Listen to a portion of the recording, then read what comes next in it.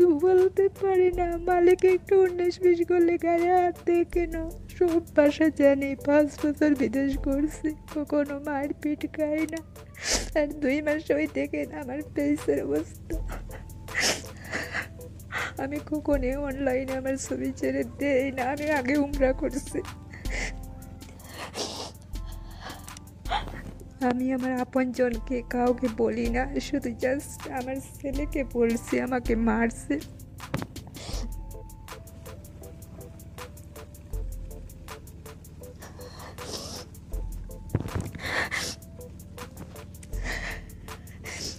গরিব, এই জন্য আসছি দুইটা টাকা পেশের জন্য, এই জন্য কি মার খাব?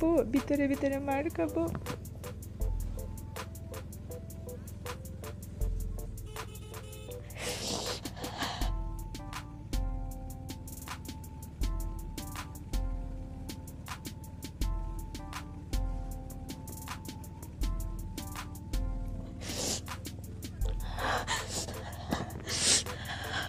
আমাকে আপনারা দেশে নেন, যে কোনো উপায় আমাকে দেশে নেন। আমি সৌদি রিয়াদ রিয়াদ আল হাদিস আছি, কালেজ আল হাদিস আমাকে দেশে আপনারা নেন।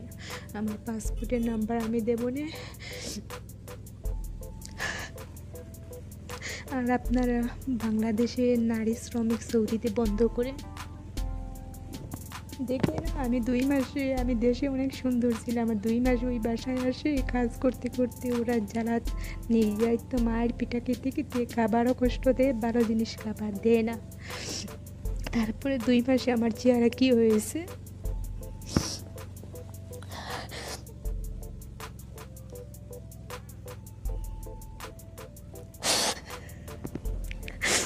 আমাকে আপনারা দয়া করে দেশে নেন। মাননীয় প্রধানমন্ত্রীর কাছে আমি ভিক্ষা চেয়েছি, প্রাণ ভিক্ষা। মাননীয় প্রবাসী মন্ত্রীর কাছে আমি ভিক্ষা চেয়েছি।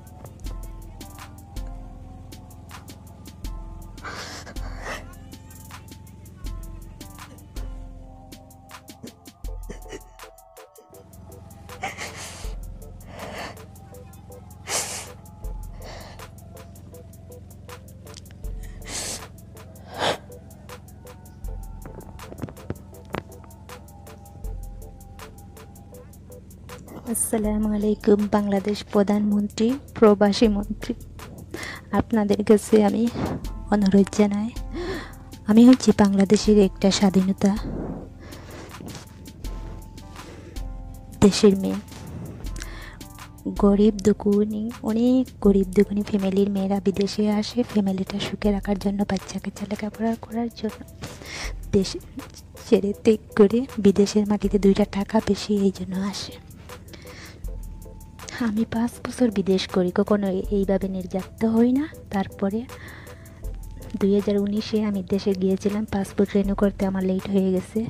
তারপর আমার আগের কপিল অন্য লোক এনে এসেছে আমি আসতে আমার পাসপোর্ট হতে আমার লেট হয়ে গেছে। তার জন্য তারপরে আমি ডাকার একটা দালাল, ওই দালালের বাড়ি হচ্ছে ডাকা ডাকা লেসু বাগান, সায়দাবাগের পাশাপাশি ওর বাসায় আমার ছেলেকে আমার বাইকে নিয়ে গিয়েছিলাম। মেডিকেলের সময় আসতে।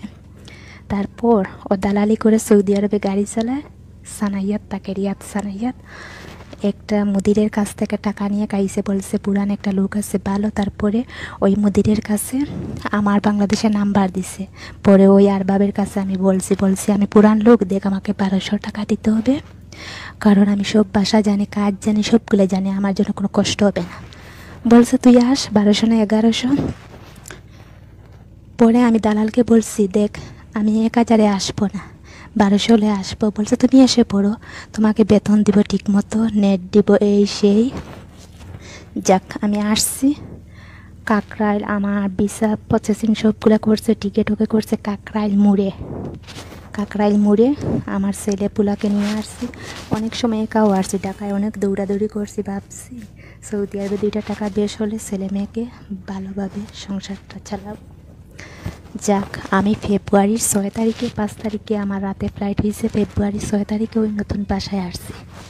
সৌদি, রিয়াদ, ওই জায়গার নাম হচ্ছে কালেজ আল হাদিস। যাক, মালিকের তিনতলা বাড়ি, দোতলায় কাজ করি, ওর পাশে ছাগলও আছে, মুরুগ আসে কাজ করে, ওখানে মুরগের খাবার দেওয়া লাগে, বাচ্চা চারটা, তারপর মালিক মালিক একদিন আমাকে দুই, তিন দিন আগে আমাকে ডাক দিছে। আমি শুনি না। আমি ডাকটা শুনি না। তারপরে আমাকে দোতলায় আসে দেখে আমি চা বানাইতেছি মালিকের জন্য। ওই বুড়া পুরুষ, ওই বেটিকে তালাতালি করছে আমার হাতে ধরে? আমার হাতে ধরে। কীভাবে দেখাবো? আমার হাতে ধরে এইভাবে মুড়া মারছে। আমার হাতে ধরে পরে মুড়া মারছে, পরে কান্নাকাটি করছে, পরে লাত মারছে, পরে কেল দিছে, পরে বলছে, দেখ, পরে আমি আমাকে দুতলা থেকে টেনে টেনে নিচতলায় নিয়ে গেছে। পরে ওর বউ সামনে, বউ জুতা খুলে আমাকে মারতেছে। বলব কিছু বলতে পারার না। তারপর হচ্ছে আমাকে আমি রাস্তায় গিয়ে বলছি আমাকে বাঁচাও বাঁচাও। তখন ওখানে কোনো বাঙালি লোক ছিল না এসার বাদে। ঘটনাটা হচ্ছে এসার বাদে। তখন গাড়ি ঘোড়া কোনো লোক চলাচল ওখানে নেই। কারণ একটা দুইটা আরবি রাস্তা দিকে হাঁটতে যাইতেছে ওরা তো বাঁচাও বাঁচাও ওটা বুঝে না। পরে আমাকে বলছে তোর মালগুলো নিয়ে আস। পরে ভাবছি রে, এখানে মাল নিয়ে গেলে আমাকে জেরে হারাই দিব। আমাকে ওই আরভাবে মারছে একটু ভুলের জন্য। ভিতরে মায়ের মারছে। আমি কী করি থাকি আমাকে আপনারা দেশে নেন, মাননীয় প্রধানমন্ত্রী, মাননীয় প্রবাসী মন্ত্রী।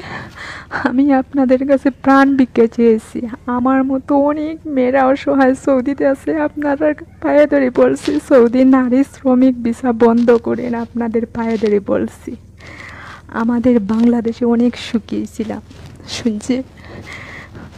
কি দেশে যেন বিদেশে আসছি জানি না